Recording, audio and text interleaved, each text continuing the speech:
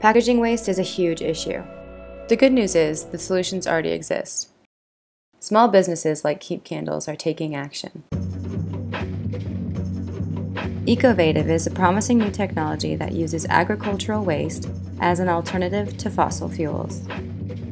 Organic waste is given a second life. Useful shapes are literally grown from the discarded material.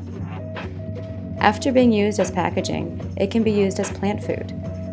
You can drop it in your garden or compost it. It's biodegradable.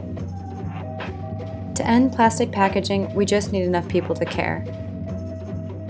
Then these solutions will become mainstream and competitive with plastics. Ask the companies you buy from to invest in better packaging.